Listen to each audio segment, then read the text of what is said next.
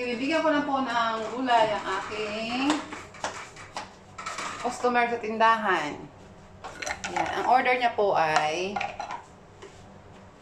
gulay. Mahilig sa gulay. Ito ay ah, parang parang ah, ano tawag dito? Yung kwa dito.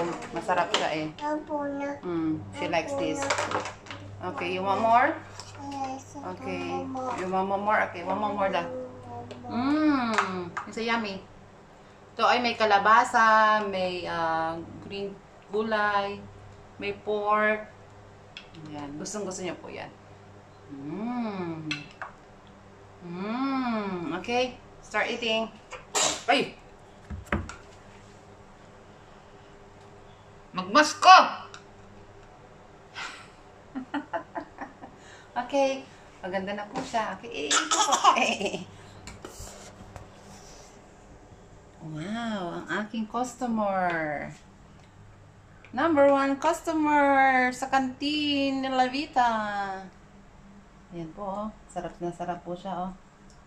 Mm. Say hi, guys. Atas. Good morning, guys. Say, good morning. Good morning.